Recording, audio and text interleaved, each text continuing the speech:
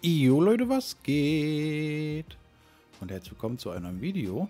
Und ja Leute, im heutigen Video möchte ich euch zeigen, wie ihr solo alle 2 bis 3 Minuten 15.000 ERP bekommen könnt. Das Ganze funktioniert leider nur auf der Playstation 4. Das Ganze machen wir mit den Community Jobs, denn dort ist ein Stuntrennen mit einem verpackten Weltrekord. Nutzt den Glitch auf jeden Fall aus, solange er noch geht, weil Rockstar ist da immer ziemlich schnell kann sein, dass der Weltrekord morgen schon anders ist oder übermorgen. Deswegen nutzt ihn einfach noch so schnell aus, solange er noch geht. Und dann würde ich sagen, dann wir auch schon direkt losstarten. Wir begeben uns zunächst einmal in irgendeine beliebige Online-Sitzung, gehen einmal auf Options, auf Online, auf Jobs, Jobs spielen, auf die Community Jobs, dann trennen und dort starten wir den Job Straight Delater Tunes. Jetzt hier im Jobmenü angekommen, stellt am besten so drei Runden ein. Renntyp auf GTA, Ansonsten braucht ihr da gar nichts umzustellen. Klasse lassen wir einfach auf Geländewagen. Jetzt ganz normal den Job starten.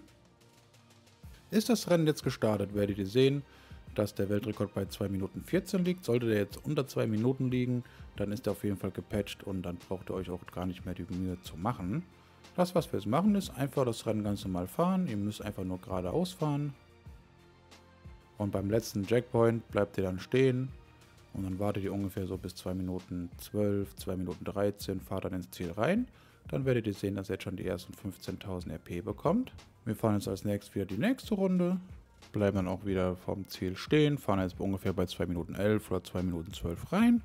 Haben dann schon wieder die nächsten 15.000 RP. Und das könnt ihr jetzt die ganze Zeit durchgängig machen.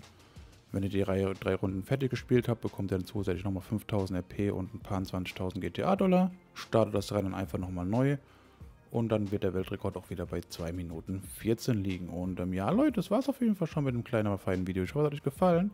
Wenn es jetzt so sein sollte, würde es mich auf jeden Fall freuen, wenn ihr mir noch ein Abo und ein Like da lassen würdet. Und ja, dann würde ich sagen, bis zum nächsten Mal. Ciao, ciao.